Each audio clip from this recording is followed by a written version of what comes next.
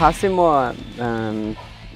सिलेक्सनको लागि आएको हो होइन? अब सिलेक्सन चल्छ अब तपाईँको अब दुई हप्ता सिलेक्सन चल्छ अनि त्यसपछि फाइनल त्यसपछि कट हुँदै जान्छ अनि त्यो मेन चाहिँ त्यो सिचुएसन अहिले होइन? अब त्यसको लागि मैले ट्रायल जस्ट ट्रायल भनौँ ट्रेनिङ भइरहेछ। अनि जस खुसी लागेको छ मलाई करिब आठ आठ महिनापछि नेपाल फर्किएछु होइन। अनि तर लास्ट टाइम चाहिँ म अलिक पढ्न सकिनँ मेरो सोल्डर पनि इन्जोर भएको थियो। मैले ट्रेनिङहरू अलिक स्किप गर्नु पऱ्यो अनि तर यो चोटि चाहिँ मलाई होप छ जस खुसी छु एक्साइटेड छु। अब देशमा पनि आफ्नो देशमा नि आउनु पाएको छु होइन। त्यो कुरा पनि मलाई धेरै खुसी छ।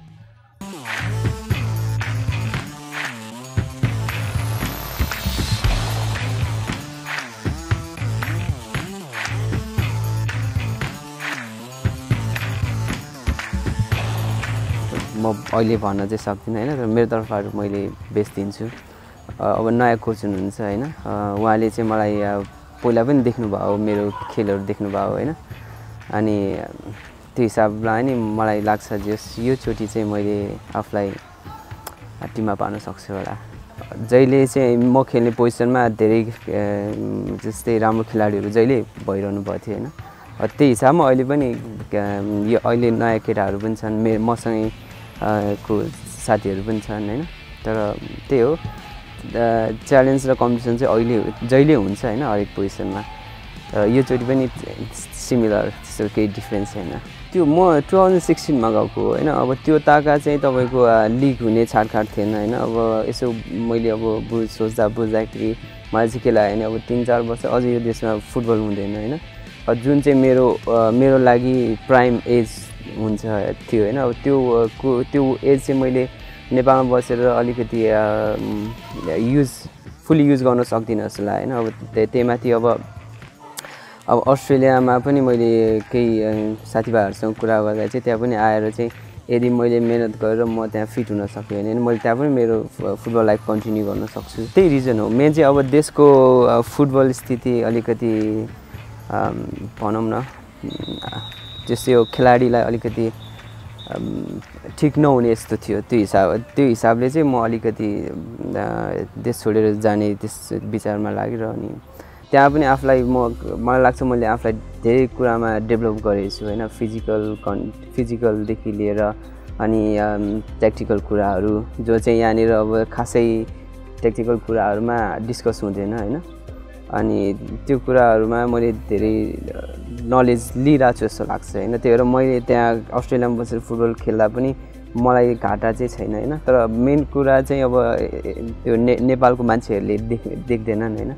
जस्तै उहाँहरूले हेर्न सक्नुहुन्न। अब त्यो त्यो कारण एउटा कारणले गर्दा चाहिँ म यदि एउटा अब देशमा चाहिँ राम्रो लिग भयो होइन? एउटा नेसनल लिग अथवा चाहिँ शहीद स्मारक लिग अलिक राम्रै तरिकाले भयो भने चाहिँ अभियसली म म चाँडै लिग चाहिँ खेल्छु।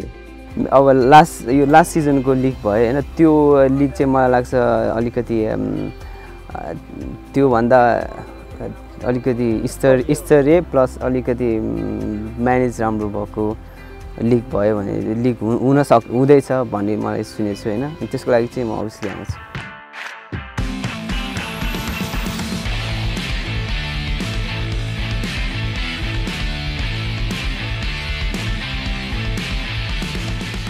म चाहिँ उता विद्यार्थी भिजामा छु होइन। विद्यार्थी भिजामा छु। अब तिन वर्ष भयो। अब फेरि तिन वर्षको छ होइन। अनि त्यो म एक छत्र रूपमा नेपालमा चाहिँ बस्दिनँ होला होइन। तर जस खेलको फुटबलको लागि चाहिँ म आइरहन्छु। टु थाउजन्ड सिक्सटिनमा फर्स्ट टाइम गएँ होइन। त्यतिखेर चाहिँ म अलिक लो डिभिजनमा खेलेँ। किनभने मलाई केही कसैलाई चिनेको थिएन त्यस्तो खासै नलेज थिएन दाइको विषयमा। अनि मैले त्यहाँ तिन चार महिना खेलेँ। अनि त्यसपछि चाहिँ मैले त्यहाँको नेसनल प्रिमियर लिग भन्ने हुन्छ होइन त्यस्तै सेकेन्ड डिभिजन अथवा थर्ड डिभिजन हो अस्ट्रेलियाको। धेरै नै क्वालिटी हुन्छ। अनि जस्तै त्यसमा चाहिँ एउटा क्लबमा दुईवटा फरेन प्लेयरभन्दा बढी राख्नु पाइँदैन होइन। धेरै नै टफ थियो। तर मैले अब मिहिनेत गरेँ होइन। मैले सात आठ केजी घटाएँ पर्सनल ट्रेनिङ राखेँ। खर्चहरू गरेँ अनि जस मैले त्यहाँ लास्ट दुई वर्ष चाहिँ एउटा राम्रै लेभलमा फुटबल खेलिरहेको छु होइन त्यहाँ विकली हिसाबले पे हुन्छ। जस्तै मैले यहाँ जति फुटबल खेलेर मन्थली कमाउँथेँ जस्तै त्योभन्दा तिन चार गुणा नै बढी हुन्छ। खेल्न आफूले खेल्न सक्नु पऱ्यो पर्फर्मेन्स गर्नु सक्नु पऱ्यो होइन? अब त्यो अब समृद्ध देश हो त्यहाँ जहिले यो खेलकुदलाई चाहिँ जहिले प्राथमिकता दिए दिएको हुन्छ। अनि तपाईँले राम्रो खेल्नु सक्नुभयो उहाँलाई चाहिँ तपाईँले चाहिँ ल म एउटा स्तरीय खेलाडी हो भनेर प्रमाणित गर्नु सक्नुभयो भने त्यसमा त्यहाँ चाहिँ पारिश्रमिकको चाहिँ त्यस्तो समस्या के हुँदैन। अहिले अहिले चाहिँ म विटलसी युनाइटेड भन्ने क्लबबाट खेलिरहेको थिएँ। अब त्यहाँबाट फेरि म त्यो जुन जुनमा चाहिँ अर्को क्लब जाने सोचाइमा छु। इङ्ग्लिस फुटबल म्याच गर्छ त्यहाँको फुटबलले चाहिँ। जस्तै उहाँ त्यहाँ चाहिँ अलिकति फिजिकल फिजिकल गेमहरू अनि त्यसपछि धेरै ट्याक्टिकल कुराहरूमा उनीहरूले धेरै डिस्कस गर्छ होइन? अब ट्रेनिङ सेसनहरूमा नि तपाईँको हप्ताको तिन दिन हो ट्रेनिङ हुने। म खेल्ने डिभिजनमा होइन? तिन दिन ट्रेनिङमा चाहिँ तपाईँको करिब एक दिन चाहिँ वार्मअप त्यस्तो मात्र हुन्छ होइन? अनि अल सेसन चाहिँ तपाईँको भिडियो एना एनालाइसिस अनि त्यसपछि टेक ट्याक्टिकल कुराहरू होइन? त्यसमै उनीहरूले डिस्कस गर्छ कि। त्यो चाहिँ हाम्रो देशमा अलिक हामी हाम्रो फुटबलमा चाहिँ खास त्यस्तो हुन्न हामी जहिले अहिले ग्राउन्डमा मात्र हुन्छौँ। अनि त्यो ट्याक्टिकल कुरामा हामी त्यो खासै ध्यान दिनौँ होइन? त्यो चाहिँ डिफ्रेन्स छ। मैले डेब्यु गरेँ टु थाउजन्ड टेनमा हो होइन? अनि म धेरै यङ थिएँ स्टुपिड थिएँ त्यतिखेर। अहिले पनि सोचा के अरे आँसु छ मलाई होइन? मेरो त्यो उमेर देख्दाखेरि क्राम रोबर्स हुनुहुन्थ्यो कोच अनि त्यतिखेर मैले मैले विश्वास गरेको थिइनँ म नेसनल टिममा पढ्छु भनेर तर पढेँ त्यतिखेर मलाई थाहा पनि थिएन कि म नेसनल प्लेयर हो भनेर होइन? अनि त्यस्तो नेसनल टिमको त्यस्तो महत्त्व पनि मलाई खासै मैले बुझ्न सकेको थिइनँ जस्तो लाग्छ त्यो उमेरमा। अनि त्यही भएर धेरै मैले स्टुपिड कुराहरू गरेँ होइन? अनि पछि तर बिस्तारै मैले आफूलाई म्यानेज गर्दै गएँ। अनि त्यही हो। त्यसपछि कोचहरू चेन्जेस हुँदै गर्नुभयो। मैले नयाँ कुराहरू सिक्दै गएँ। ज्याक स्टुपे फाइनेन्सको आउनुभएको थियो टु थाउजन्ड टुवेल्भमा होला सायद। अनि उहाँको त्यसमा चाहिँ मैले आफूलाई धेरै निखारेँ जस्तो लाग्छ है। अनि मैले धेरै पर्फर्मेन्सहरू पनि उहाँकै त्यसमा राम्रो गरेँ जस्तो लाग्छ। फ्रेन्डली चाहिँ हामीले फर्स्ट भुटानसँग खेलेको थियौँ होइन? अनि देन त्यसपछि गेम चाहिँ हुन्छ यो गेमै चाहिँ नर्थ कोरियासँग थियो। त्यो चाहिँ एफसी च्यालेन्ज कपको क्वालिफायर थियो। अनि त्यो डेबी गेम खेलाएको थिएँ दस मिनट खेलेँ रेड कार्ड खाएँ निस्केँ। त्यो अझै त्यो चाहिँ धेरै याद आउँछ त्यो गेम मलाई।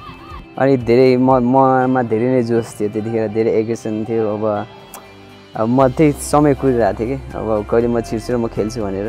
अनि आउनेन अनि त्यसपछि मैले चार पाँचवटि बल पाएँ होइन? अनि मैले सबै बलहरू राम्रै गरेँ जस्तो लाग्छ होइन? अनि स्टेडियमभरि अब त्यो तालीहरू बजिरहेको थियो त्यस होइन? अब मलाई चिरहरू भइरहेको थियो। अनि त्यसमा म झन् औसिएँ कि? औसिएँ अनि करिब करिब त्यस म छिरेको पन्ध्र पन्ध्र सोह्र मिनटमा मैले एउटा ट्र्याक लाने। अनि then I was sent off straight red. अनि त्यो मलाई देख्छ त के भयो जस्तो लागिरहेको थियो।